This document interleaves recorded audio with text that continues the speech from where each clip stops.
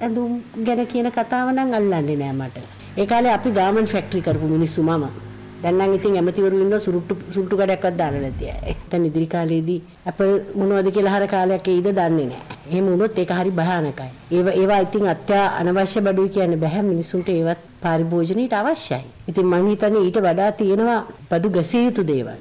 මිනිසුන් ගැන ඊට වඩා ටිකක් හිතලා මොන හරි විදිහකින් මේ කටයුතු කරගත්තොත් හොඳයි. අපිටත් හිත අමාරු වෙලා තියෙනවා. මහා බංකුවේ අධිපතිට විතරක් නෙවෙයි. ඒත් ඉතින් මේ අවුරුදු කීපයක් අපි ඉඳගෙන මේ වැඩ ටික කරන්න එපායි. මේ හරි අවාසනාවන්ත තැනකට අපි මේ රට ගෙනල්ල තියෙනවා. අපි නැවත වතාවක් අර හැත්තෑවේ හැත්ත හතේ පෝලිං යුගයකට මේ යන්න යන්නේ. අන්තිමට යට ඇඳුම් ගබඩාවලට සීල් තියන්න වෙනවා. රෑට අඳින හැඳුම් ආඳින තියෙන ගබඩාවලට සීල් තියන්න වෙනවා. මේ මේ එතනට තමයි මේ යන්නේ.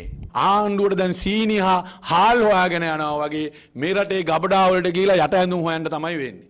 බඩු බාන්න හිඟ වුණාම මිල මිල වැඩි වෙනවා. ඉතින් ඕක දන්න දෙයක් නේ. ඉත ඊට පස්සේ ආණ්ඩුව කිය අන්න මුන් යට ඇඳුම් හංගන් ඉන්නවා. මේ අතර ආණ්ඩුව අධීක්ෂණ මන්ත්‍රීතුර ලබාදීමට පවතින සූදානම පිළිබඳව සමගි ජනබලවේගේ පාර්ලිමේන්තු මන්ත්‍රී හේෂාන් විතානගේ අද පැවති මාධ්‍ය හමුවකදී අදහස් පළ කළා. ආණ්ඩු පක්ෂයේ ඉන්න පසු පෙළ මන්ත්‍රීවරු ටික ආරක්ෂා කරගෙන ආණ්ඩුව අතිශය වෙහෙසක් දරනවා.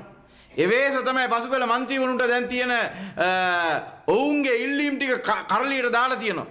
අපිට ආරංචියනවා නාමල් රාජපක්ෂ අමාත්‍යවරය යටතේ පසුපෙළ මන්ත්‍රීවරු 50 දෙනෙකුට අධීක්ෂණ මන්ත්‍රී දූර වාහන ඒ වගේම දැවැන්ත වරප්‍රසාද රාශියක් දීලා උන් නියඬ කරන්න උත්සාහ කරනවා කියලා.